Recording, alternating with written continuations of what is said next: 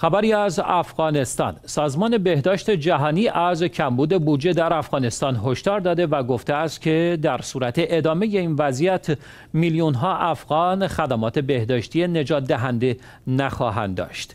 این نهاد خواستار افزایش سرمایه گذاری در ارائه خدمات بهداشتی در افغانستان به ویژه در مناطق محروم که به دلیل بحران انسانی جاری به شدت کمبود منابع و آسیب پذیر هستند. شده است.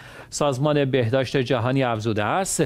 پس از دهه ها بی ثباتی تشدید شده و توسط خشکسالی شدید و بلایای طبیعی افغانستان در حال حاضر با یک بحران طولانی مدت بشردوستانه مواجه است و میلیون ها تن با فقر یا عدم دسترسی به بهداشت و غذا زندگی می کنند و آنها را در معرض خطر شدید سوء تغذیه و شیوع بیماری قرار می دهد.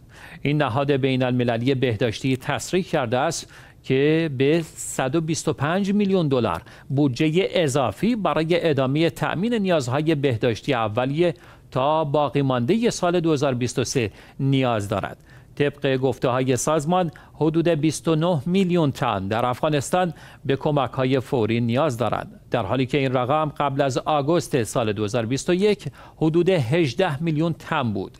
این در حالی است که پیش از این نیز سازمان های کمک رسان از کمبود بودجه در افغانستان هشدار داده بودند. با روی کار آمدن طالبان در افغانستان نهادهای بهداشتی بین المللی از وضعیت بهداشت در این کشور نگرانی کردند.